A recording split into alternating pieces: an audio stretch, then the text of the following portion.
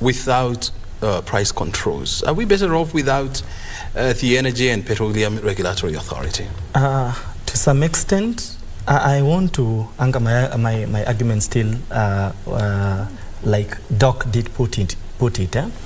uh, the issue about excessive pricing on each of the of the so for instance now the the EPRA the regulator mm -hmm. you know and what is what is it that they are taking Ombath did just explain very well and he said given the uh, big numbers the volumes that are coming with the marketeers it is obvious that the regulator can enjoy from that economics of scale and that essentially means they can come down so I, I think uh, the onus is on policymakers and who, those who now sit at the decision-making table to be able to uh, advise and see what then is ideal for the for EPRA or rather for the regulatory body to capture and uh, how we go about that. Mm -hmm. mm.